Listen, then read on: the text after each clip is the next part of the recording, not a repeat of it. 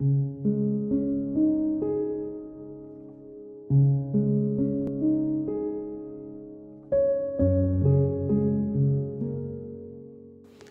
നമ്മളൊരു പുതിയ വിഷയം നമ്മൾ പഠിച്ചു തുടങ്ങുകയാണ്. The life of a disciple ഒരു ശിഷ്യന്റെ ജീവിതം അല്ലെങ്കിൽ ശിഷ്യത്വ ജീവിതം. ഇത് വളരെ പ്രധാനപ്പെട്ടൊരു കാര്യമാണ്. പലപ്പോഴും ഇന്ന് ക്രിസ്തീയ സഭകളിൽ എല്ലാവരും വിശ്വാസികളാണ്.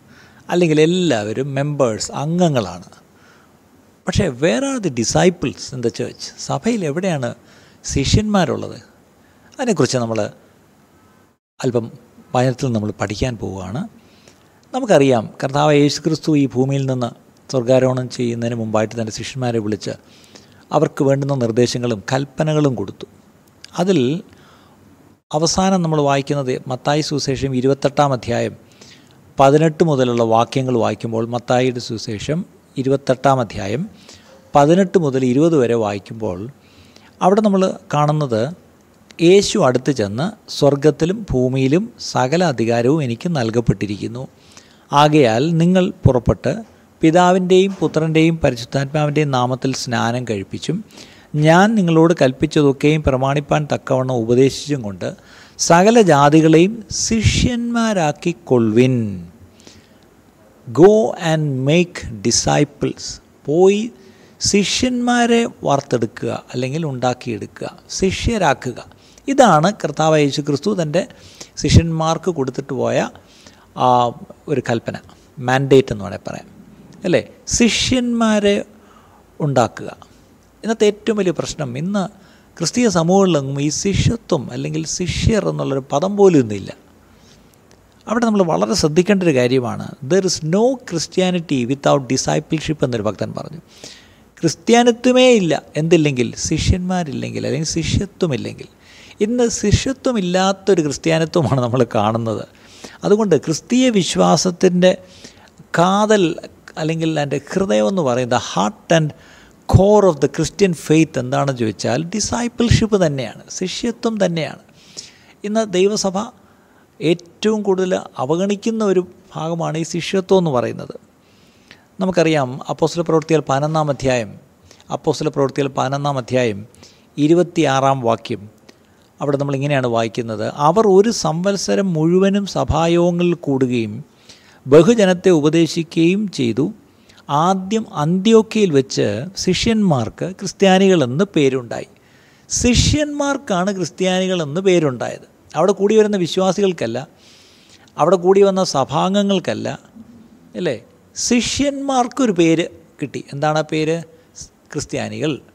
അപ്പോൾ ക്രിസ്ത്യാനി എന്ന് പറഞ്ഞാൽ തന്നെ അതിന്റെ അർത്ഥം അല്ലെങ്കിൽ ഒരു നമ്മൾ അർത്ഥമാക്കി എടുക്കേണ്ടത് ശിഷ്യന്മാരെയാണ് ക്രിസ്ത്യാനികൾ ക്രിസ്തുവിനെ പോലെയുള്ളവർ എന്നുള്ള ഒരു സാക്ഷ്യം അന്ന് അവരെ പറ്റി ഉണ്ടായിരുന്നു അപ്പം നമ്മൾ ഓരോരുത്തരും ശിഷ്യനാണോ എന്താണ് ഈ ശിഷ്യൻ എന്ന് പറയുന്നതിലൂടെ നമ്മൾ ഉദ്ദേശിക്കുന്നത്? ആ വാക്കിന്റെ അർത്ഥം ഗ്രീക്കിൽ എ ലേണർ ഒരു പഠിതാവ് എന്നുള്ള അർത്ഥമാണ് ശരിക്കും. അല്ലെങ്കിൽ ഒരു ശിഷ്യൻ എന്ന് പറയുമ്പോൾ തീർച്ചയായിട്ടും അതിന്റെ കൂടെ ഒരാളും കൂടെ കാണും. ആരാണ്? ഗുരു.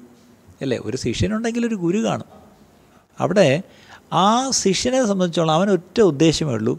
ഈ ഗുരുവിന്റെ കൂടെ വന്ന് താമസിച്ച് ഗുരുവിന്റെ പാദത്തിലിരുന്ന് ഗുരുവിൽ നിന്ന് സകല വിദ്യയും അഭ്യസിച്ചെടുക്കുക എന്ന് മാത്രമല്ല ഒടുവിൽ ഈ ഗുരുവിനെ പോലെ ആയിത്തീരുക. നമുക്കറിയാം നമ്മുടെ ഭാരതത്തിൽ ഗുരുകുല വിദ്യാഭ്യാസം നമുക്കറിയാം.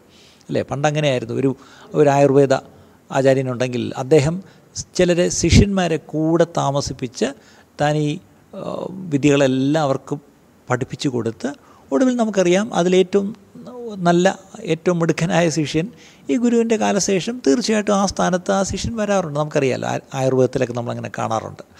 അല്ലേ? അപ്പം ഇത് നമ്മുടെ ഒരു ഭാരതീയ സംസ്കാരം അനുസരിച്ച് നമുക്ക് മനസ്സിലാക്കാൻ വളരെ എളുപ്പമാണ്. ഇനി നമുക്കറിയാം ആ യഹൂദ കാലങ്ങളിലും അങ്ങനെ തന്നെയായിരുന്നു. അല്ലേ? ഒരു ഗുരുവിന്റെ കീഴിൽ പോയി പാദത്തിലിരുന്ന് പഠിക്കണം. അങ്ങനെയായിരുന്നു അന്നത്തെ ഒരു രീതി. അപ്പോൾ ഇവിടെയും യേശു ഉദ്ദേശിച്ചതും അത് തന്നെയാണ്. നമ്മൾ ഓരോരുത്തരും ഗുരുവിന്റെ കീഴിൽ ആരാണ് ആ ഗുരു എന്നുള്ളതിന് അടുത്ത പ്രശ്നം അല്ലേ? ആ ഗുരുനാഥൻ മറ്റാരുമല്ല. നമ്മുടെ കർത്താവ് യേശു ക്രിസ്തുവാണ് ലോകം കണ്ടതിൽ ഏറ്റവും വലിയ ഗുരുനാഥൻ. മത്തായി സുശേഷം പത്താം അധ്യായത്തിന്റെ ഇരുപത്തിനാലും ഇരുപത്തിയഞ്ചും. മത്തായി സുശേഷം പത്താം അധ്യായത്തിന്റെ ഇരുപത്തിനാലും ഇരുപത്തിയഞ്ചും. ശിഷ്യൻ ഗുരുവിന് മീതെയല്ല ദാസൻ യജമാനന് മീതെയുമല്ല. ഗുരുവിനെ പോലെ ആകുന്നത് ശിഷ്യന് മതി. അപ്പോൾ ശിഷ്യൻ എവിടം വരെ എത്തണം? ഗുരുവിനെ പോലെ ആയിത്തീരണം. ഇനി പ്രത്യേകിച്ച് ഒന്നും ഗുരുവിൽ നിന്ന് കരസ്ഥമാക്കി എടുക്കുവാൻ പഠിക്കുവാനില്ല. ആ ഗുരുവിനെ പോലെ ആയി. ഒരു ഗുരുവിനെ സംബന്ധിച്ചോളം അതാണ് ഏറ്റവും സന്തോഷം. തന്റെ ശിഷ്യൻ തന്നെ പോലെ ആയിത്തീരുന്നതാണ് ഒരു ഗുരുവിന്റെ ഏറ്റവും ചാരിതാർത്ഥ്യമേറുന്ന ഒരു സന്ദർഭം എന്ന് പറഞ്ഞാൽ അത് തന്നെയാണ്. യജമാനനെ പോലെ ആകുന്നത് ദാസനും മതി എന്നാണ് എഴുതിയിരിക്കുന്നത്. അപ്പം ഫോളോയിങ് ക്രൈസ്റ്റ് ക്രിസ്തു എന്ന ഗുരുനാഥനെ നമ്മൾ അനുഗമിക്കുക. ആ ഗുരുവിന്റെ ശിഷ്യരായി നമ്മൾ എൻറോൾ ചെയ്യപ്പെടുക. ആ ശിഷ്യ ആ ഗുരുവിന്റെ കൂടെ ആയിരിക്കുക. അതൊരു വ്യക്തിപരമായ ഒരു പേഴ്സണൽ ആയിട്ടുള്ളൊരു ബന്ധമാണ്. അതൊരു ഇന്റിമേറ്റ് റിലേഷൻഷിപ്പാണ് വളരെ അടുപ്പമുള്ളൊരു ബന്ധമാണ്. അല്ലേ? ഇത് നമ്മൾ വളരെ ശ്രദ്ധിക്കണം. ആ ഗുരുവുമായിട്ട് വളരെ ചേർന്ന് ഇടപഴകി ഏറ്റവും അടുത്തിരുന്ന് ഒടുവിൽ നമ്മൾ ഉദ്ദേശിക്കുന്ന ഒരു അവസ്ഥയെന്ന് പറഞ്ഞാൽ ആൻഡ് ബിക്കമിങ് ലൈക്ക് ഹിം തന്നെപ്പോലെ തന്നെ ആയിത്തീരുക. മത്തായ സുശേഷം ഏഴാം അധ്യായം ഇരുപത്തിമൂന്നാം വാക്യം മത്തായ എഴുതിയ സുശേഷം ഏഴാം അധ്യായം ഇരുപത്തിമൂന്നാം വാക്യം ഇങ്ങനെയാണ്. അന്ന് ഞാൻ അവരോട് ഞാൻ ഒരു നാളും നിങ്ങളെ അറിഞ്ഞിട്ടില്ല. അധർമ്മം പ്രവർത്തിക്കുന്നവരെ എന്നെ വിട്ടു പോകുവിൻ എന്ന് തീർത്തു പറയും. അത് സന്ദർഭം യേശു പറഞ്ഞാണ് അന്നാളിൽ ഒത്തിരി പേര് വന്ന് യേശുവേ ഞങ്ങൾ അങ്ങയുടെ നാമത്തിൽ അങ്ങനെ ചെയ്തു ഇങ്ങനെ ചെയ്തു ഭൂതങ്ങളെ പുറത്താക്കി രോഗികളെ സൗഖ്യമാക്കി. അതൊന്നും യേശു തർക്കിക്കത്തില്ലെന്ന്. യേശുവിന് അതൊക്കെ ശരിയായിരിക്കും. നിങ്ങൾ എന്റെ നാമത്തിൽ പലതും ചെയ്തതാണ് പക്ഷേ എനിക്ക് നിങ്ങളെ അറിയത്തില്ല. എന്റെ അർത്ഥം എന്താണ്? ഈ ഗുരുവുമായിട്ടൊരു വ്യക്തിബന്ധം ഈ ശുശ്രൂഷിച്ചവർക്കില്ലായിരുന്നു. അവർ വലിയ ശുശ്രൂഷയൊക്കെ ചെയ്തു പക്ഷേ അവർക്ക് കർത്താവുമായിട്ടൊരു നേരിട്ടൊരു വ്യക്തിബന്ധം ഇല്ലായിരുന്നു ഒരു പേഴ്സണൽ ഇന്റിമേറ്റ് റിലേഷൻഷിപ്പ് അവർക്കില്ലായിരുന്നു. അതുകൊണ്ടാണ് അവരെ തള്ളിപ്പറയൂ എന്ന് നമ്മൾ വായിക്കുന്നത്. യോഹന്നാൻ എഴുതിയ സുശേഷം പത്താം അധ്യായം ഇരുപത്തേഴാം വാക്യം യോഹന്നാൻ പത്തിന്റെ ഇരുപത്തേഴ്. എന്റെ ആടുകൾ എന്റെ ശബ്ദം കേൾക്കുന്നു ഞാൻ അവയെ അറിയുകയും അവ എന്നെ അനുഗമിക്കുകയും ചെയ്യുന്നു. യേശു പറഞ്ഞൊരു വാക്കാണ് എന്താണ്? എന്റെ ആടുകൾ എന്റെ ശബ്ദം കേൾക്കുന്നു. My sheep hear my voice അപ്പം നമ്മൾ ഈ യേശുവിന്റെ ആടുകളാണെങ്കിൽ യേശു നമ്മുടെ ഇടയനാണെങ്കിൽ ആ ഇടേന്റെ ശബ്ദം നമ്മളെപ്പോഴും കേൾക്കുകയും ആ ശബ്ദം തിരിച്ചറിയുകയും വേണം. അല്ലേ? അങ്ങനെ തിരിച്ചറിയുന്ന ശബ്ദം തിരിച്ചറിയുന്ന ആടുകൾ ഞാൻ അവയെ അറിയും ഇടയൻ അറിയ ആടുകൾ ആരാണെന്നും അവ എന്നെ അനുഗമിക്കുകയും ചെയ്യും. ഇടയൻ ആദ്യം ആടുകൾ ആരാന്നറിയാം ഈ ആടുകൾ തീർച്ചയായിട്ടും ഇടയനെ അനുഗമിക്കുന്ന ആടുകളുമായിരിക്കും. ഇത് വളരെ പ്രധാനപ്പെട്ടൊരു കാര്യമാണ്. ഇനി ഒന്ന് യോഹന്നാൻ രണ്ടിന്റെ ആറ്. ഒന്ന് യോഹന്നാൻ രണ്ടിന്റെ ആറ്. അതിങ്ങനെയാണ്. അവനിൽ വസിക്കുന്നു എന്ന് പറയുന്നവൻ അവൻ നടന്നതുപോലെ നടക്കേണ്ടതാകുന്നു. നമ്മൾ ക്രിസ്തുവിൽ വസിക്കുന്നു യേശുവിൽ വസിക്കുന്നു എന്ന് നമ്മൾ പറയുകയാണെങ്കിൽ ആ ക്രിസ്തു നടന്നതുപോലെ അല്ലെങ്കിൽ താൻ ജീവിച്ചതുപോലെ നമ്മൾ ജീവിക്കണം. അപ്പം ഒരു ശിഷ്യന്റെ ജീവിതത്തെക്കുറിച്ച് നമ്മൾ എന്തെങ്കിലും മനസ്സിലാക്കണമെങ്കിൽ ആദ്യം ചില അടിസ്ഥാന സത്യങ്ങൾ നമ്മൾ മനസ്സിലാക്കണം. അതിൽ രണ്ട് സത്യങ്ങൾ ഞാൻ പറയാം. ഒന്ന് ക്രൈസ്റ്റ് ആസ് ദ ലോഡ്. ക്രിസ്തു കർത്താവായിരിക്കണം. കർത്താവ് എന്നുള്ള വാക്ക് നമ്മൾ സാധാരണ ഒത്തിരി സ്ഥാനത്തും അസ്ഥാനത്തൊക്കെ നമ്മൾ ഉപയോഗിക്കാറുണ്ട്. സാധാരണ നമ്മൾ ക്രിസ്ത്യാനികൾ പ്രാർത്ഥിക്കുമ്പോൾ കർത്താവേ കർത്താവേ കർത്താവേ എന്ന് നൂറ് കർത്താവേ എന്നുള്ള വാക്കതിനകത്ത് വരും. പക്ഷേ എന്താണ് ആ വാക്ക് കൊണ്ട് ഉദ്ദേശിക്കുന്നത്? അല്ലേ? നമുക്കറിയാം പിതാവായ ദൈവം യേശു ക്രിസ്തുവിനെ കർത്താവാക്കി വെച്ചിരിക്കുന്നു എന്നൊരു വാക്യം വായിക്കാം. അപ്പോസ്ല പ്രവൃത്തികൾ രണ്ടാം അധ്യായം മുപ്പത്തിയാറും മുപ്പത്തിയേഴും വാക്യം. അപ്പോസ്ല പ്രവൃത്തികൾ രണ്ടാം അധ്യായം മുപ്പത്തിയാറും മുപ്പത്തിയേഴും ഇങ്ങനെയാണ്. ആകയാൽ നിങ്ങൾ ക്രൂശിച്ച ഈ യേശുവിനെ തന്നെ ദൈവം കർത്താവും ക്രിസ്തുവുമാക്കി വെച്ചു എന്ന് ഇസ്രായേൽ ഗ്രഹം ഒക്കെയും നിശ്ചയമായി അറിഞ്ഞുകൊള്ളട്ടെ. പിതാവായ ദൈവം എന്ത് ചെയ്തു? ക്രിസ്തുവിനെ അതല്ല കർത്താവിനെ യേശുവിനെ സോറി യേശുവിനെ എന്താക്കി? കർത്താവും ക്രിസ്തുവുമാക്കി വെച്ചു. എന്നുള്ള കാര്യം. അപ്പം യേശു കർത്താവാണ്. കർത്താവായ യേശു ക്രിസ്തു. നമ്മൾ യേശുവിനെ പറ്റി പറയുമ്പം കർത്താവായ യേശു ക്രിസ്തു എന്ന് എന്നെ പറയണം. യേശു എന്ന് മാത്രം പറഞ്ഞു വിടരുത്. യേശു ക്രിസ്തു എന്ന് എന്നെ പറയണം. അല്ലേ? യേശു ക്രിസ്തു എന്ന് പറയുമ്പോൾ ആരാണ് യേശു ക്രിസ്തു? കർത്താവ്. കർത്താവ്. ഫിലിപ്പിയ ലേഖനം രണ്ടാം അധ്യായം ഒൻപതും പത്തും പതിനൊന്നും വാക്യം ഫിലിപ്പിയ ലേഖനം രണ്ടാം അധ്യായം ഒൻപത് മുതലുള്ള വാക്യങ്ങൾ ഇങ്ങനെയാണ്. അതുകൊണ്ട് ദൈവവും അവനെ ഏറ്റവും ഉയർത്തി സകല നാമത്തിനും മേലായ നാമം നൽകി അങ്ങനെ യേശുവിന്റെ നാമത്തിങ്കിൽ സ്വർലോകരുടെയും ഭൂലോകരുടെയും അധോലോകരുടെയും മുഴങ്കാലൊക്കെയും മടങ്ങുകയും എല്ലാ നാവും യേശു ക്രിസ്തു കർത്താവ്. ആ പദം ശ്രദ്ധിക്കണം. Jesus Christ is Lord. അല്ലേ? യേശു ക്രിസ്തു കർത്താവ് എന്ന് പിതാവായ ദൈവത്തിന്റെ മഹത്വത്തിനായി ഏറ്റുപറയുകയും ചെയ്യേണ്ടി വരും. സകല നാവും സകല മുഴങ്കാലുകളും മടങ്ങി സകലനാവും ഏറ്റുപറയുന്ന ഒരു കാര്യമാണ്. എന്താണ്? യേശു ക്രിസ്തുവാണ് കർത്താവ് എന്ന് പറയുന്നൊരു നാളുണ്ടെന്നുള്ള കാര്യം മറക്കരുത്. അതുകൊണ്ടാണ് ആദിമ സഭയിൽ അല്ലെങ്കിൽ ആദിമ കാലത്ത് അപ്പോസന്മാർ എവിടെയും അവരെപ്പോഴും യേശു ക്രിസ്തുവിന്റെ ആ കർത്തൃത്വത്തെ അവരെളു അവർ ഉയർത്തി പറഞ്ഞിരുന്നു. അപ്പോസ്തല പ്രവൃത്തികൾ പതിനാറാം അധ്യായത്തിന്റെ മുപ്പത്തി ഒന്നാം വാക്യം അപ്പോസ്തല പ്രവൃത്തികൾ പതിനാറാം അധ്യായം മുപ്പത്തൊന്നാം വാക്യം ഇങ്ങനെയാണ്. കർത്താവായ യേശു യേശുവിൽ വിശ്വസിക്കുക എന്നാൽ നീയും നിന്റെ കുടുംബവും രക്ഷ പ്രാപിക്കും എന്നവർ പറഞ്ഞു. കർത്താവായ യേശുവിൽ വിശ്വസിക്കുക എന്നാൽ നീയും നിന്റെ കുടുംബവും രക്ഷ പ്രാപിക്കും എന്നവർ പറഞ്ഞു. റോമാലേഖനം പത്താം അധ്യായം ഒൻപതാം വാക്യം. റോമർക്ക് എഴുതിയ ലേഖനം പത്താം അധ്യായം ഒൻപതാം വാക്യം. യേശുവിനെ കർത്താവ് എന്ന് വായുകൊണ്ട് ഏറ്റുപറയുകയും ദൈവം അവനെ മരിച്ചവരിൽ നിന്ന് ഉയർ ഉയർത്തെഴുന്നേൽപ്പിച്ചു എന്ന് ഹൃദയം കൊണ്ട് വിശ്വസിക്കുകയും ചെയ്താൽ നീ രക്ഷിക്കപ്പെടും. അവർ നാം രക്ഷിക്കപ്പെടണമെങ്കിൽ എന്ത് ചെയ്യണം? യേശുവിനെ കർത്താവ് എന്ന് വിശ്വസിക്കണം. അല്ലേ? ആ കർത്താവായ യേശു ക്രിസ്തുവിനെ എന്റെ രക്ഷിതാവായി ഞാൻ എന്ത് ചെയ്യണം? അംഗീകരിച്ച് എന്റെ ഹൃദയത്തിലേക്ക് ഞാൻ സ്വീകരിക്കണം. രണ്ട് പത്രോസ് മൂന്നിന്റെ രണ്ട് രണ്ട് പത്രോസ് മൂന്നിന്റെ രണ്ട്.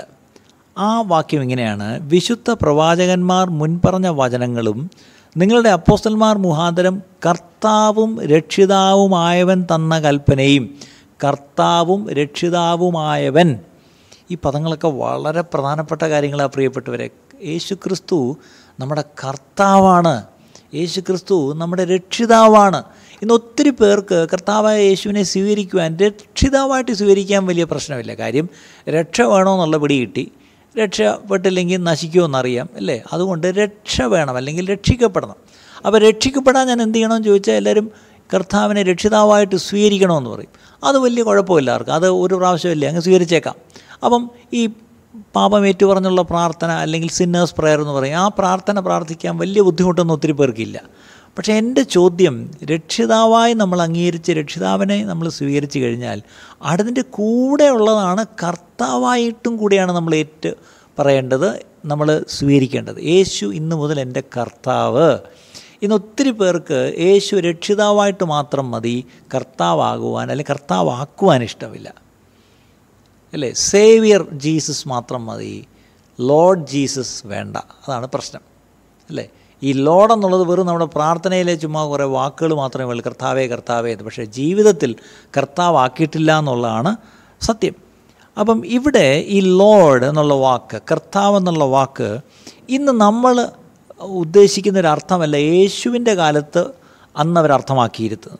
അന്നത്തെ കാലത്ത് കർത്താവെന്ന് പറഞ്ഞാൽ the one who had maximum authority ഉന്നത അധികാരമുള്ള പരമോന്നതമായ അധികാരമുള്ളവൻ ദ ഫസ്റ്റ് വൺ ഒന്നാമൻ അല്ലെങ്കിൽ the one above everything else സകലത്തിനും മീതെയുള്ളവൻ അല്ലെങ്കിൽ ഓണർ ഓഫ് ഓൾ ക്രിയേഷൻ സകല സൃഷ്ടിയുടെയും ഉടമസ്ഥൻ. അല്ലേ? സകലത്തിന്റെ ഉടയവനും സകലത്തിനും കാരണൻ ഭൂതൻ. അല്ലേ? ഇതൊക്കെയാണ് ആ വാക്കിന്റെ അർത്ഥം. അപ്പം ഗ്രീക്ക് പദമാണ് ക്യൂറിയോസ് എന്നുള്ള പദമാണ്. ബൈബിളിൽ നമ്മൾ ഈ ലോഡ് എന്നുള്ളതിന് നമ്മൾ പുതിയ നിയമത്തിൽ കാണുന്ന ക്യൂറിയോസ് എന്നുള്ള പദം.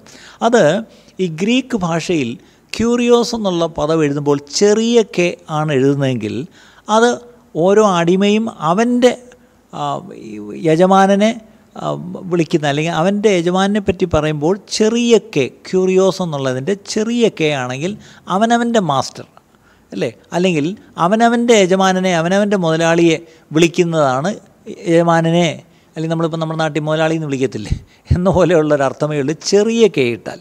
പക്ഷേ അതേ ക്യൂറിയോസ് എന്നുള്ള വാക്ക് അത് വലിയ അക്ഷരം കെ ആണെങ്കിൽ അത് ലോകത്ത് ഒരേ ഒരാളെപ്പറ്റി മാത്രം പറയുമ്പോൾ മാത്രമേ ആ വലിയ കെ എന്നുള്ള അക്ഷരം ക്യൂറിയോസിൽ ഉപയോഗിക്കത്തുള്ളൂ. അതാരാണെന്നറിയാമോ ആ വ്യക്തി അത് റോമൻ സീസർ അല്ലെങ്കിൽ കൈസറാണ്. റോമൻ ചക്രവർത്തിയായ കൈസർ ചക്രവർത്തിയെ പറ്റി പറയുമ്പോൾ മാത്രമേ ഉള്ളൂ ക്യൂറിയോസ് എന്നുള്ള ആ വാക്കിന്റെ വലിയ കെ ഉപയോഗിക്കുന്നത്.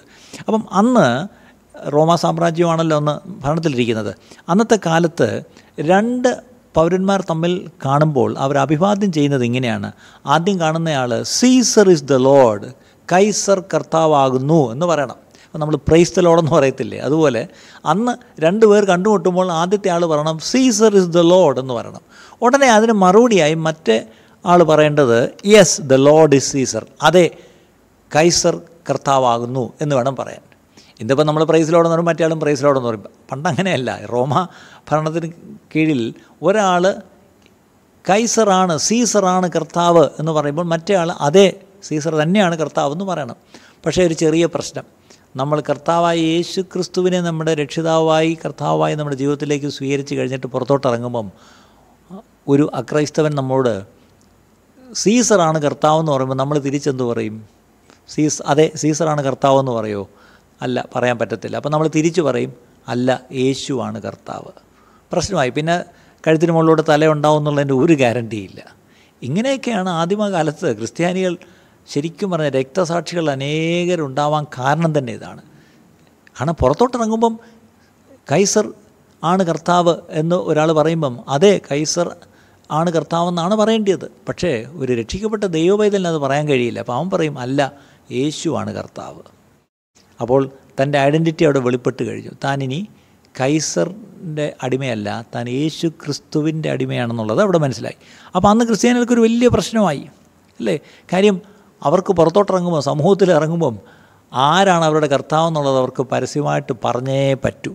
അങ്ങനെ പറയുമ്പം പലപ്പോഴും അവർക്ക് പോയി കിട്ടുന്നത് അവരുടെ തലയാണ് അല്ലെങ്കിൽ അവരുടെ ജീവൻ പോയി കിട്ടും. അങ്ങനെ അനേക രക്തസാക്ഷിയായി എന്നുള്ള കാര്യം മറക്കരുത്. അപ്പം ക്രൈസ്റ്റ് ആസ് ലോഡ് ഒരു നമ്മൾ ശിഷ്യത്വത്തെക്കുറിച്ചാണെന്ന് പറഞ്ഞ് വരുന്നത് അതിൽ ഒന്നാമത്തെ കാര്യം ക്രിസ്തു അല്ലെങ്കിൽ യേശു എന്റെ കർത്താവായിരിക്കണം. ഇനി യേശു എന്റെ കർത്താവാണെങ്കിൽ ഞാൻ ആരാണ്? അവിടെയാണ്. ഞാനൊരു അടിമയാണ്. ഞാനൊരു ദാസനാണ്.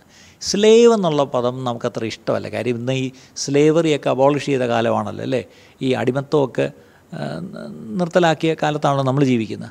അപ്പോൾ ഒരു അടിമയെന്നൊക്കെ പറയുമ്പോൾ ഏയ് അതൊന്നും ലോകത്തെങ്ങും ഇപ്പോൾ ഒരു അടിമ അടിമ വ്യാപാരമൊന്നും ഇല്ലല്ലോ. നമുക്ക് ചരിത്രത്തെ നമ്മൾ വായിച്ചിട്ടും പഠിച്ചിട്ടും ഉള്ളതല്ല. അതെങ്ങും ഒന്നും ഇല്ല എന്നുള്ള സത്യമാണ്. പക്ഷേ ഇവിടെ നമ്മൾ പറയുന്നത് ഒരു ആ യേശുവിന്റെ കാലത്ത് ഒരു അടിമയെന്ന് പറയുമ്പം അയാൾക്ക് അതെന്താണെന്ന് ശരിക്കും കാര്യം മനസ്സിലാവും. കാര്യം ഒരു അടിമയെന്ന് പറയുമ്പോൾ അദ്ദേഹത്തിന്റെ സ്വാതന്ത്ര്യം അദ്ദേഹത്തിന്റെ ഇഷ്ടങ്ങൾ അല്ലേ? അദ്ദേഹത്തിന്റെ പേര് പോലും അദ്ദേഹത്തിന്റേതായിട്ട് പിന്നെ കാണത്തില്ല. അവനെ ആര് വില കൊടുത്ത് മേടിച്ചോ? അല്ലെങ്കിൽ അവന്റെ ഉടമസ്ഥൻ ആരോ അവന്റെ യജമാനൻ ആരോ അവന്റെ മുതലാളി ആരോ അവന്റേതാണ് ഈ അടിമ. ശരിക്കും ഒരു ആ അടിമയെ ഒരു മൃഗത്തെ കണക്കാക്കുന്നത് പോലെയാണ് പലപ്പോഴും യജമാന്മാർ കണക്കാക്കിയിരുന്നത്. ഈ അടിമച്ചന്തയിൽ ഈ അടിമകളെ വിൽക്കാൻ കൊണ്ടുവരുമ്പം അവരുടെ കഴുത്തിലൊരു ഒരു ചെറിയ ചരട് കെട്ടി അതിൽ അവരുടെ വില ഒരു ഒരു ഒരു ടാഗ് കെട്ടിയേക്കും. അപ്പം ശരിക്കും ആ ചന്തയിൽ വരുന്നവർ ഈ കഴുത്തിലുള്ള നമ്മളറിയാമല്ലോ തുണിക്കടയിൽ എന്തെങ്കിലും റെഡിമെയ്ഡ് കടകളൊക്കെ പോയിട്ട് നമ്മൾ ഓരോ ഉടുപ്പിന്റെയും പ്രൈസ് ടാഗ് ഇങ്ങനെ പിടിച്ച് നോക്കും എത്രയാണ് വിലയെന്ന്. നമുക്ക് മേടിക്കാൻ പറ്റുമോ എന്ന്. അതുപോലെ ഈ അടിമകളെ ഇങ്ങനെ ചന്തയെ കൊണ്ട് നിരത്ത് നിർത്തുമ്പം അവരുടെ കഴുത്തിൽ കിട്ടിയിരിക്കുന്ന ആ വില ആ ടാഗ് ഓരോരുത്തരും നോക്കിയിട്ടാണ് അവർക്ക് പറ്റുന്ന വിലയാണെങ്കിലേ അവരത് മേടിക്കത്തുള്ളൂ. അപ്പം അങ്ങനെ ഒരാൾ വന്ന് ശരി ഈ വിലയ്ക്ക് ഞാനങ്ങ് മേടിച്ചേക്കാമെന്ന് പറഞ്ഞാൽ വില കൊടുത്ത് അവനെ മേടിച്ചുകൊണ്ട് പോയാൽ അവന്റെ സ്വന്തമാക്കുകയാണ്. അല്ലേ? പിന്നെ പുതിയ യജമാനന്റെ വീട്ടിലോട്ട് ഇവൻ പോവാണ്. അവിടെ ചെല്ലുമ്പം അവൻ ചെയ്യുന്നൊരു കാര്യമുണ്ട്. അവൻ ഒരു കൂർത്ത ഒരു ഒരു മുനയുള്ള ഒരു ഒരു എന്താ പറഞ്ഞൊരു ഒരു ഒരു കമ്പി എടുത്തിട്ട് അത് ഈ അടിമയെ തന്റെ വീടിന്റെ കഥവിനോട് ചേർത്ത് വെച്ച് ഈ കാതങ്ങ് കുത്തി അങ്ങ് തുളയ്ക്കും. തുളച്ചിട്ട് അത് കാണിക്കുന്നത് ഇനി ഇവൻ എന്റെ വകയാണ്. എന്നിട്ട് ആ കാത് തുളച്ചിട്ട് ആ കാതിലൊരു കൊച്ചൊരു കടുക്കൻ ഇട്ട് കൊടുക്കും. എന്നിട്ട് ആ കടുക്കൻ അല്ലെങ്കിൽ ആ റിങ് അല്ല ഒരു ഒരു ഒരു എന്താ പറഞ്ഞത് ഇയർ റിങ് അതിൽ ഈ യജമാനന്റെ പേര് കുത്തിയിരിക്കും അല്ലെങ്കിൽ യജമാനന്റെ ഇനിഷ്യലെങ്കിലും കുത്തിയിരിക്കും. അതായത് അത് കാണിക്കുന്നത് ഇനി ഈ അടിമ ഈ യജമാനന്റെയാണ്. കാര്യം ഇവൻ ഓടി രക്ഷപ്പെടാൻ പറ്റത്തില്ല. ഇവൻ ഓടി അവന്റെ കാതിലെ ഈ റിങ് അതിനകത്ത് ഇനിഷ്യലുണ്ട് ഇത് ആരുടെ വകയാണെന്നുള്ളത്. അല്ലേ? ഇതുപോലെ നമ്മളും ക്രിസ്തുവിന്റെ അടിമയാകുമ്പോൾ നമ്മൾ എന്റെ കാതുകളെ തുളച്ചിരിക്കുന്നു എന്ന് സങ്കീർത്തനത്തിലൊരു വാക്യമുണ്ട്. അതിന്റെ അർത്ഥം ഇതാണ്. നമ്മൾ ക്രിസ്തുവിന്റെ വകയായാൽ അപ്പം ആ യജമാനൻ പഴയ നിയമത്തിൽ നമുക്കറിയാം ഈ അടിമകൾക്കും ചില എന്താ പറഞ്ഞ സ്വാതന്ത്ര്യങ്ങളൊക്കെ ഉണ്ടായിരുന്നു. ചില അവർക്ക് ചില റൈറ്റ്സ് ഉണ്ടായിരുന്നു. ചില അവകാശങ്ങളുണ്ടായിരുന്നു അതിൽ ചിലപ്പോഴൊരു ഇത്ര വർഷം കഴിഞ്ഞിട്ട് അവരെ വേണമെങ്കിൽ വെറുതെ അവരെ അയക്കാം. അവരെ സ്വതന്ത്രമായിട്ട് അയക്കാം. അങ്ങനെ ഒരു ഓപ്ഷൻ കൊടുത്തിരുന്നു. അപ്പോൾ അവന് വേണമെങ്കിൽ യജമാൻ മനസ്സോടെ ഇവനെ വിടുവിച്ചാൽ ഇവന് പോകാം. മറ്റൊരു യജമാന്റെ കീഴിലേക്കോ അല്ലെങ്കിൽ സ്വതന്ത്രമായിട്ട് പോകാം. പക്ഷേ പലപ്പോഴും ആ അടിമകൾ ഈ വീട്ടിൽ നിന്ന് ലഭിച്ച ആ ഒരു സ്നേഹം ഓർത്തിട്ട് ഞാൻ ഈ യജമാനെ വിട്ട് പോവുകയില്ല എന്ന് പറഞ്ഞ് അവിടെ തന്നെ നിൽക്കും. അങ്ങനെ ഒരു അനുഭവമുണ്ട്. നമ്മൾ വിചാരിക്കുന്ന പോലെ ഈ യജമാനന്മാരെല്ലാം ക്രൂരന്മാരാണോ എന്നില്ല കേട്ടോ. ഇനി ലോകത്തുള്ള യജമാനന്മാരെല്ലാം ക്രൂരന്മാരായിരിക്കും. പക്ഷേ നമ്മുടെ യജമാനായ ക്രിസ്തു ഒരിക്കലും ഒരു ക്രൂരനായ യജമാനല്ല എന്നുള്ള കാര്യവും മറക്കരുത്. അപ്പം ഇവിടെ ഈ സാൽവേഷൻ എന്ന് പറഞ്ഞത് തന്നെ ഇറ്റ് ഈസ് സബ്മിഷൻ നമ്മൾ രക്ഷിക്കപ്പെടുക എന്ന് പറയുമ്പം നമ്മൾ നമ്മുടെ നമ്മൾ ക്രിസ്തു എന്ന കർത്താവിന് വിധേയപ്പെടുക എന്നുള്ളതാണ്. അല്ലേ? ആ ക്രിസ്തുവിന്റെ അടുത്ത് വന്നിട്ട് തന്റെ മുഖമെടുത്ത് നമ്മൾ അവനോട് പഠിക്കുകയാണ്. മത്തായി സുശേഷം പതിനൊന്നാം അധ്യായം ഇരുപത്തിയെട്ട് മുതലുള്ള വാക്യങ്ങൾ അതാണല്ലോ മത്തായി എഴുതിയ സുശേഷം ഇരുപത്തെട്ടാം അധ്യായം അല്ല പതിനൊന്നാം അധ്യായം ഇരുപത്തെട്ട് മുതലുള്ള വാക്യങ്ങൾ അധ്വാനിക്കുന്നവരും ഭാരം ചുമക്കുന്നവരുമായുള്ളവരെ എല്ലാവരും എന്റെ അടുക്കൽ വരുവിൻ. ഞാൻ നിങ്ങളെ ആശ്വസിപ്പിക്കും. ഞാൻ സൗമ്യതയും താഴ്മയും ഉള്ളവനാകിയാൽ എന്റെ മുഖം ഏറ്റുകൊണ്ട് എന്നോട് പഠിപ്പിൻ. എന്നാൽ നിങ്ങളുടെ ആത്മാക്കൾക്ക് ആശ്വാസം കണ്ടെത്തും. എന്റെ മുഖം മൃദുവും എന്റെ ചുമട് ലഘുവുമാകുന്നു. എന്റെ നുഖം മൃദുവും അല്ലേ? അപ്പോൾ ഇവിടെ നമ്മൾ ആ ആ നുഖത്തിന്റെ കീഴിൽ വരികയാണ് ശരിക്കും പറഞ്ഞാൽ. കർത്താവ് എന്ന യജമാനന്റെ കീഴിൽ നമ്മൾ വരികയാണ്. അതുകൊണ്ടാണ് രണ്ട് കുരുന്നീർ അഞ്ചിന്റെ പതിനഞ്ചിൽ അപ്പോസ്ലായി പൗലോസ് പറഞ്ഞു രണ്ട് കുരുന്നീർ അഞ്ചിന്റെ പതിനഞ്ചിൽ ജീവിക്കുന്നവർ ഇനി തങ്ങൾക്കായിട്ടല്ല തങ്ങൾക്ക് വേണ്ടി മരിച്ചു ഉയർത്തവനായിട്ട് തന്നെ ജീവിക്കേണ്ടതിന് അവൻ എല്ലാവർക്കും വേണ്ടി മരിച്ചു എന്ന് ഞങ്ങൾ നിർണയിച്ചിരിക്കുന്നു. ജീവിക്കുന്നവർ ഇനി തങ്ങൾക്ക് വേണ്ടി ജീവിക്കരുത്. നമ്മളെ അടുത്തൊരു വാക്യം റോമാലേഖനം പതിനാലാം അധ്യായം ഏഴും എട്ടും ഒമ്പതും വാക്യം. റോമാലേഖനം പതിനാലാം അധ്യായം ഏഴും എട്ടും ഒമ്പതും വാക്യം. നമ്മിലാരും തനിക്കായി തന്നെ ജീവിക്കുന്നില്ല. ആരും തനിക്കായി തന്നെ മരിക്കുന്നുമില്ല. ജീവിക്കുന്നുവെങ്കിൽ നാം കർത്താവിനായി ജീവിക്കുന്നു. മരിക്കുന്നുവെങ്കിൽ കർത്താവിനായി മരിക്കുന്നു. അതുകൊണ്ട് ജീവിക്കുന്നുവെങ്കിലും മരിക്കുന്നുവെങ്കിലും നാം കർത്താവിനുള്ളവർ തന്നെ. മരിച്ചവർക്കും ജീവിച്ചിരിക്കുന്നവർക്കും കർത്താവാകേണ്ടതിനല്ലോ ക്രിസ്തു മരിക്കുകയും അപ്പം മരിച്ചാലും ജീവിച്ചാലും നമ്മൾ കർത്താവിന് വേണ്ടി ജീവിച്ചാൽ കർത്താവിന് വേണ്ടി അല്ലേ? എനിക്ക് ജീവിക്കുന്നത് ക്രിസ്തു മരിക്കുന്നത് ലാഭമെന്ന് വേറെടുത്ത് പൗലോസ് പറഞ്ഞിട്ടുണ്ട്. റോമാലേഖനം ഒന്നിന്റെ ഇരുപതിൽ പലപ്പോഴും നമ്മൾ ഒന്ന് എടുത്താൽ അറിയാം. നമ്മൾ പ്രത്യേകിച്ച് ഈ പുതിയ നിയമത്തിലെ ലേഖനങ്ങളെല്ലാം എഴുതിയിരിക്കുന്നത് അധികവും പൗലോസാണ്. പിന്നീട് പത്രോസ് യൂത അല്ലേ? ഇവൻ വെളിപ്പാട് പുസ്തകത്തിൽ പോലും അവർ തങ്ങളെപ്പറ്റി അവർ പറയുമ്പോൾ പ്രത്യേകിച്ച് ഞാൻ ഒരാളുടെ കാര്യം ഒരു വാക്യം മാത്രം വായിക്കുക റോമാലേഖനം ഒന്നാം അധ്യായം രണ്ട് സാധാരണ പൗലോസിന്റെ എല്ലാ എഴുത്തുകളുടെ ആദ്യത്തെ ഒന്ന് രണ്ട് വാക്യങ്ങൾ ഒരു ഒരു എന്താ പറയുന്നത്? താൻ ഇത് ആർക്കെഴുതുന്നു? അതേപോലെ ഒരു വന്ദനം പറയുന്ന രീതിയുണ്ട്. അപ്പം പിതാവായ ദൈവത്തിൽ നിന്നും കർത്താവായ യേശു ക്രിസ്തുവിൽ നിന്നും പറഞ്ഞിട്ട് അവിടെ റോമർ ഒന്നിന്റെ രണ്ട് സുവിശേഷത്തിനായി വേർതിരിച്ച് വിളിക്കപ്പെട്ട അപ്പോസ്റ്റലനും യേശു ക്രിസ്തുവിന്റെ ദാസനുമായ പൗലോസ് അല്ലേ? ദാസനായ പൗലോസ്. അപ്പം അപ്പോസ്റ്റലന്മാർ തങ്ങളെ തന്നെ പരിചയപ്പെടുത്തുമ്പോൾ അവരിപ്പോഴും പറയുന്നത് ഞങ്ങൾ ക്രിസ്തുവിന്റെ ദാസന്മാരാണ്. അവിടെ ഉപയോഗിച്ചിരിക്കുന്ന വാക്ക് ഡുലോസ് എന്നാണ്. ശരിക്കും പറഞ്ഞാൽ അടിമ സ്ലേവ് എന്നുള്ള വാക്ക് തന്നെയാണ് സെർവന്റ് എന്നുള്ള വാക്കാണ് അവിടെ ശരിക്കും.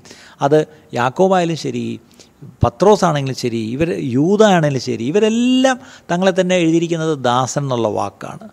അല്ലേ? അപ്പം ഇന്ന് നമ്മൾ ഈ ക്രിസ്തുവിന്റെ അടുത്ത് വന്ന് ക്രിസ്തുവിന്റെ ദാസനാകുന്നതിന് മുമ്പ് നമ്മൾ ഈ ലോകത്തിൽ അന്ധകാരത്തിലായിരുന്നു. ഈ അന്ധകാരമുള്ള ലോകത്തിൽ നമ്മൾ ജീവിച്ചപ്പോൾ നമുക്ക് നമുക്ക് ഇഷ്ടമുള്ള പോലെ ജീവിക്കാം. നമ്മുടെ ഇഷ്ടമുള്ള ആഗ്രഹങ്ങളുടെ പുറകെ നമുക്ക് പോകാം. പക്ഷേ ആ സാത്താന്റെ അടിമത്തത്തിൽ നമ്മളെ ക്രിസ്തുവിന്റെ അധികാരത്തിലേക്ക് നമ്മളെ നമ്മൾ നമ്മളെ കൊണ്ടുവന്നപ്പം പിന്നീട് നമ്മൾ ഈ ക്രിസ്തുവിന്റെ അധികാരത്തിന് കീഴിൽ ക്രിസ്തുവിന്റെ ശിഷ്യരായിട്ട് വേണം നമ്മൾ ജീവിക്കുവാൻ. പിന്നീട് നമ്മുടെ ഇഷ്ടങ്ങൾക്കും നമ്മുടെ ആഗ്രഹങ്ങൾക്ക് മാത്രം വേണ്ടി നമ്മൾ ജീവിക്കുന്നവരായി മാറരുത്. ഇത് വളരെ പ്രധാനപ്പെട്ട ഒരു കാര്യമാണ്. ഇവിടെയാണ് നമ്മൾ ഒരു ശിഷ്യന്റെ ജീവിതം. അവൻ ഒറ്റയ്ക്ക് അവനും അവന്റെ കർത്താവും മാത്രമല്ല അവനൊരു ദൈവ കുടുംബത്തിലേക്കാണ് ജനിച്ചു വീഴുന്നത് എന്നുള്ള കാര്യം മറക്കരുത്. അവിടെ നമ്മുടെ സഹോദരങ്ങളുണ്ട് അല്ലേ? നമ്മുടെ നമ്മുടെ മൂത്ത സഹോദരങ്ങളുണ്ട് അല്ലേ? നമുക്ക് സംശിഷ്ടക്കാരുണ്ട് നമുക്ക് ഇളയ സഹോദരങ്ങളുണ്ട്. അപ്പം മുകളിലുള്ളവരിൽ നിന്ന് നമ്മൾ പഠിക്കുകയും അവർക്ക് കീഴ്പ്പെട്ടിരിക്കുകയും അല്ലേ? അവരെ നമ്മൾ അനുഗമിക്കുക അവരുടെ ജീവിതം കണ്ട് നമ്മൾ പകർത്തേണ്ട കാര്യങ്ങൾ പകർത്തണമെന്നുള്ള കാര്യവും മറക്കരുത്. അപ്പം ഒരു ഡിസൈപ്പിൾ ഒരു ശിഷ്യൻ എന്ന് പറയുമ്പോൾ ഒരു പഠിതാവാണ്. Is a learner but from a person rather than a book ഒരു പുസ്തകത്തിൽ നിന്ന് എന്തെങ്കിലുമൊക്കെ പഠിക്കുക എന്നുള്ളതിൽ ഇപ്പം നമ്മുടെ കുട്ടികളുടെ വിദ്യാഭ്യാസ സമ്പ്രദായം അറിയാം. അവർ ഈ പുസ്തകം മൊത്തം തലയ്ക്കകത്തോട്ട് കയറ്റിയിട്ട് പരീക്ഷയ്ക്ക് പോയി ശ്രദ്ധിക്കുക. അത്രയേ ഉള്ളൂ. അല്ലേ? ഈ പഠിച്ചതെല്ലാം കൂടെ എഴുതി വയ്ക്കുക. മാർക്ക് കിട്ടും. ഇതാണ് ഇന്നത്തെ വിദ്യാഭ്യാസ സമ്പ്രദായം. പക്ഷേ ഈ പറഞ്ഞ ശിഷ്യത്വം എന്ന് പറഞ്ഞത് ഒരു പുസ്തകം പഠിച്ച് ശിഷ്യനാവാൻ പറ്റത്തില്ല. ഒരു ഗുരുവിന്റെ കൂടെ കൂടിയേ ശിഷ്യനാവാൻ പറ്റത്തുള്ളൂ. ആ ഗുരു എന്ന് പറഞ്ഞത് വേറെ ആരുമല്ല. അത് നമ്മുടെ കർത്താവായ യേശു ക്രിസ്തുവാണ് അപ്പം അവിടെ ആ ഗുരുവിന്റെ ഇൻസ്ട്രക്ഷൻ അല്ലേ? എല്ലാ കൽപ്പനകളും നമ്മൾ പാലിക്കണം. അതേസമയത്ത് അതിന്റെ കൂടെ ഇമിറ്റേഷനും കൂടെ ഉണ്ട്. എന്താണ് ഇമിറ്റേഷൻ ആ ക്രിസ്തുവിനെ നമ്മൾ എന്ത് ചെയ്യണം? അനുകരിക്കണം. ആ ക്രിസ്തുവിനെ പോലെ നമ്മൾ ആയിത്തീരണം. അതാണ് കാര്യം. അപ്പം നമ്മൾ ബൈബിൾ മാത്രം പഠിച്ചാൽ പോരാ. ആ ക്രിസ്തുവിനെ പോലെ അനുദിനം നമ്മൾ ആയിത്തീരുകയും വേണം. ഇത് രണ്ടും കൂടെ ചേരുമ്പോഴാണ് അല്ലെങ്കിൽ വേറൊരു വാക്കി പറഞ്ഞാൽ it is theoretical as well as practical too പലപ്പോഴും തിയറി മാത്രം നമുക്ക് അറിയാം. Theory hundred mark full pass പക്ഷേ പ്രാക്ടിക്കലി തോറ്റു പോകുന്നു. ഇന്നത്തെ നമ്മുടെ വിഷയം നമുക്ക് തിയറി മാത്രം പോരാ പ്രാക്ടിക്കലും കൂടെ ഉണ്ട്. എന്താണ് പ്രാക്ടിക്കൽ? ക്രിസ്തുവിനെ പോലെ ആയിത്തീരുക എന്നുള്ളതാണ് നമ്മുടെ ശിഷ്യത്വത്തിന്റെ ഏറ്റവും പ്രധാനപ്പെട്ട കാര്യം. ഈ ഞാൻ ഈ പറഞ്ഞ കാര്യങ്ങൾ നിങ്ങൾ ഗൗരവമായിട്ട് എടുക്കുകയും നമുക്ക് നല്ല ക്രിസ്തുവിന്റെ ശിഷ്യന്മാരായി തീരുവാനും നമുക്ക് ശ്രമിക്കാം. അതിനായിട്ട് ദൈവം നിങ്ങളെല്ലാവരെയും സമൃദ്ധിയായിട്ട് അനുഗ്രഹിക്കുമാറാട്ടെ